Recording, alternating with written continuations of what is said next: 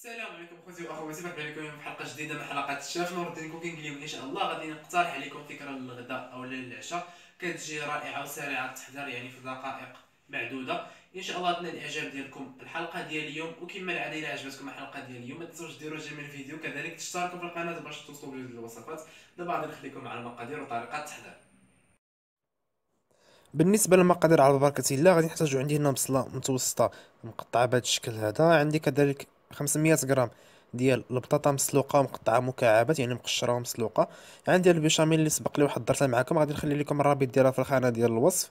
عندي كذلك معلقة كبيرة ديال الزبدة. عندي كذلك الفرماج الأحمر.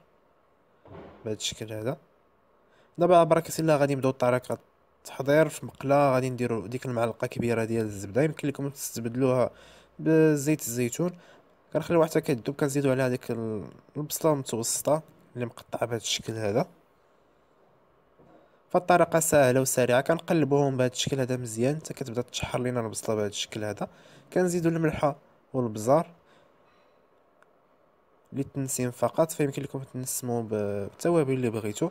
كنحركو مزيان حتى كتذوب ديك البصلة. بعد ما كطيب ديك البصلة بهذا الشكل هذا كنزيدو على داك 500 غرام ديال البطاطا اللي مقشرة ومسلوقة كما قلت لكم. ومقطعه مكعبات.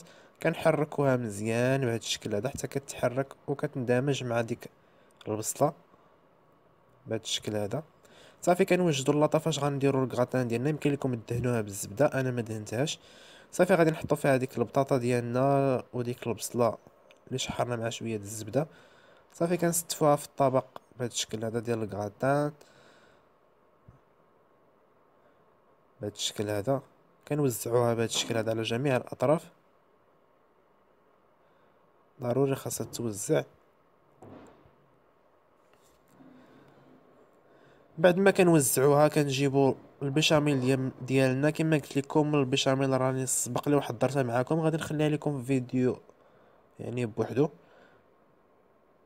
غادي نخليه لكم في الخانة ديال الوصف. كنوزعوا البيشاميل بهذا الشكل هذا حتى كيتوزع مزيان بهذا الشكل هذا.